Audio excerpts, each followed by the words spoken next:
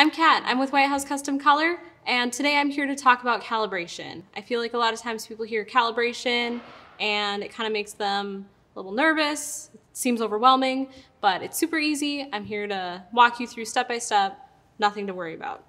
So a couple of common questions we get with calibration is what should the lighting be in the room that I'm calibrating? Should I turn all the lights off and just have my monitor light on? Um, should I, what should I do?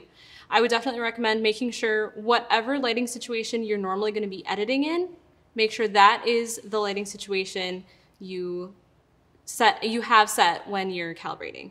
So if you work in the morning when the sunlight maybe is a little bit warmer, I would make sure that's the time you calibrate, or if you do it in the evening, same thing.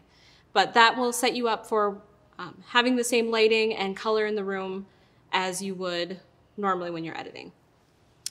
Um, another thing I usually recommend is if you have a calibration device, make sure you run that first, and that's gonna really help you um, get your monitor set to reading the, the warmth in the room, the light in the room. And so if you have any questions, we have this um, really awesome article on our website under our whcc.com slash help site. So this walks through all the steps I just talked about, monitor calibration, what is it, um, it goes through calibration devices, your color space. So this is a really good article to reference if you have any questions.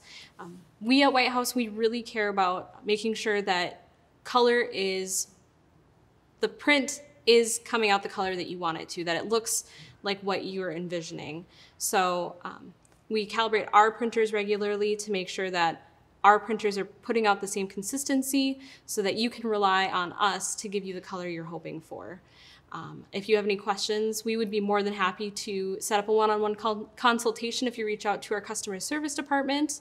Um, we will um, offer more test prints if you're needing them, if you haven't gotten some in a while or um, you haven't gotten any yet from us, I, I highly recommend re reaching out to our customer service team and they would be more than happy to uh, do that for you and answer any other questions that you have.